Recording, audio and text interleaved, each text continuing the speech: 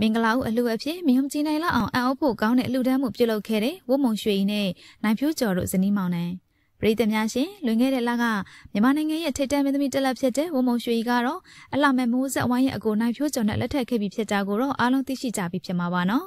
နိုင်ပြိုကျော်ကဝုံမုံရွှေကိုရိုမက်တစ်ဆန်ဆန်နဲ့ခန်းခန်းနာနာလက်ထက်ခွင့်တောင်းခံခဲ့ပြီးတော့မင်္ဂလာပွဲကိုလည်းတရုတ်နိုင်ငံရဲ့ရေခဲတောင်တစ်ခုမှာခန်းခန်းနာနာနဲ့ကျင်းပခဲ့တာဖြစ်ပါတယ်။ နိုင်ငံရဲ့ထိပ်တန်းမင်းသမီးတက်လက်ဖြစ်တဲ့ဝုံမုံရွှေရဲ့မင်္ဂလာသတင်းကအရန်ကိုနာမည်ကြီးသွားခဲ့ပြီးတော့တချို့သောသူတွေကလည်းမနာလိုစိတ်နဲ့သူတို့ကိုအမျိုးမျိုးဝေဖန်ခဲ့ကြတာတွေလည်းရှိခဲ့ပါတယ်။အကြောင်းရင်းကတော့ဝုံမုံရွှေရဲ့ယောက်ျားဖြစ်သူကိုနိုင်ဖြိုးကျော်ကခရိုနီတထေးတူဖြစ်တာကြောင့်ပြည်သူတွေရဲ့မျက်မှောင်ကျိုးတာကိုခံနေရသူဖြစ်ပါတယ်။ဒါပေမဲ့နိုင်ဖြိုးကျော်နဲ့ဝုံမုံရွှေတို့ကမင်္ဂလာဝဲကိုခန်းခန်းနာနာနဲ့တရုတ်နိုင်ငံမှာကျင်းပပြီးတဲ့နောက်မြန်မာနိုင်ငံမှာလည်းရိုးရာဓလေ့ထုံးတမ်းတဲ့အညီမင်္ဂလာဝဲအခမ်းအနားကိုထပ်မံကျင်းပခဲ့တာပဲဖြစ်ပါတယ်။ ထူကြတာကတော့ဝုံမုံရွှေတို့မင်္ဂလာပွဲကိုအမှုပညာအတိုင်းဝန်းကတိတ်ပြီးတက်ရောက်ကိုမပြုတာကြောင့်ပရိသတ်တွေကြားမှာတော့ဝုံမုံရွှေတို့ကမဖိတ်ကြတာလားဒါမှမဟုတ်တမင်မတက်ရောက်ကြတာလားဆိုတာမေးခွန်းထုတ်စရာဖြစ်နေခဲ့ပါတယ်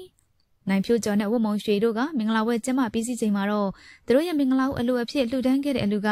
အရန်ကိုမယုံနိုင်စရာကောင်းနေခဲ့ပါတယ်။ပရိသတ်တွေအနေနဲ့လုံးဝထင်မှတ်မထားနိုင်လောက်တဲ့အလူဒန်းမှုမျိုးကိုသူတို့ဇနီးမောင်နှံကမင်္ဂလာအလူအဖြစ်လှူဒန်းခဲ့ကြတာဖြစ်ပါတယ်။ ပုံမုံရွှေနဲ့ကိုနိုင်ဖြိုးကျော်တို့ဇနီးမောင်နှံကမင်္ဂလာဥအလှူအဖြစ်ဒီဇင်ဘာ18ရက်နေ့ကနှင်းစီကုန်းပူပွားရိပ်သာမှာရှိတဲ့အဖိုးအဖွားတွေအတွက်တသက်တာစွန့်ပရိသတ်ပင်စိတ်ကျမ်းမာရေးစိတ်ယုံမှရှိတဲ့စိတ်ဝေဒနာရှင်တွေအတွက်တသက်တာအာဟာရအလှူရှင်ခိုင်နှုတ်ရဲ့ရင်ခွင်ရိပ်မြုံကေဟာရှိကလေးငယ်တွေအတွက်ဒိုင်ဘာနှုတ်မော်အဆရှိတဲ့လူပွဲပစ္စည်းအမျိုးမျိုးရုပ်ရှင်အစည်းအဝေးမှာရှိတဲ့ဆက်အဖွဲ့သားတွေနဲ့ဇက်ဖို့ဇက်ရန်တယောက်ဆောင်တွေအတွက်ဆန်နဲ့စီများလှူဒန်းပေးခဲ့ပါတယ်။အဲ့ဒီအထက်မှာမှအထူးခြားတဲ့အရာကတော့တသက်စာအတွက်လှူဒန်းတဲ့အလူတွေပဲဖြစ်ပါတယ်။